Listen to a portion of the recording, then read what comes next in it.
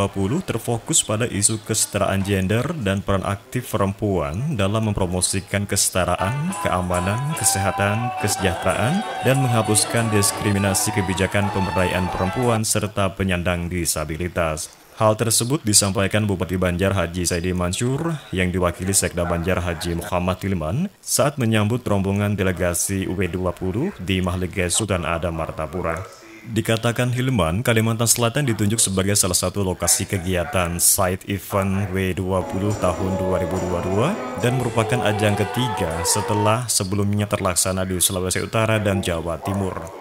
W20 merupakan wujud ekonomi inklusif dengan mendukung pelaku ekonomi kreatif yang dikelola oleh para perempuan, sehingga dapat terciptanya kesejahteraan perempuan dan kesetaraan gender, serta meningkatkan kesadaran dan kesehatan perempuan dengan program keluarga berencana. Sekda berharap dengan ditunjuknya sebagai salah satu bagian event W20 akan menjadikan Kalimantan Selatan tidak hanya dikenal dunia luar, tetapi menjadi sarana untuk Kabupaten Banjar sebagai salah satu daerah yang berkomitmen kuat terhadap kemajuan perempuan yang manis. Destinasi wisata yang termasuk dalam top 5 unggulan Kabupaten Banjar disebutkan Hiriman di antaranya Pasar Terapung di Lokba Intan, Penggosokan Intan, dan Makam Gurus Kumpul yang akan dipasarkan secara internasional. Alhamdulillah tadi pemerintah Kabupaten Banjar sudah menerang, menerima delegasi W20 yang berkunjung ke Kalimantan Selatan dan juga bagian dari rundown kegiatan pelaksanaan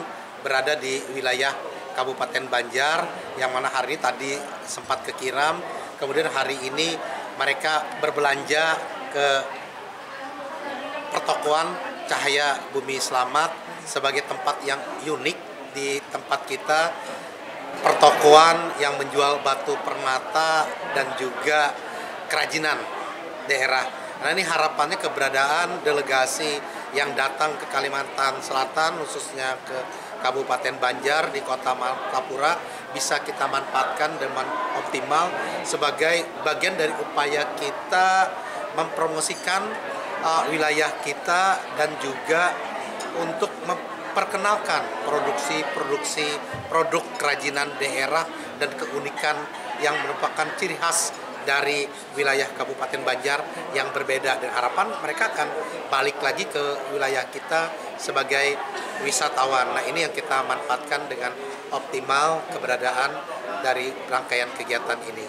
Dan untuk Kabupaten Banjar ada titik destinasi-destinasi wisata dari keindahan alam, dari uh, wisata religi yang kita miliki, dari produk-produk uh, kerajinan dan juga batu permata yang berbeda dari daerah lain. Nah, ini harapannya bisa meningkatkan perekonomian masyarakat kita yang sempat terpuruk sebagai dampak dari pandemi COVID-19 yang melanda daerah kita dan juga wilayah Indonesia. Ini kesempatan ekonomi kita untuk bangkit kembali. Ini harus kita manfaatkan peluang ini dengan baik.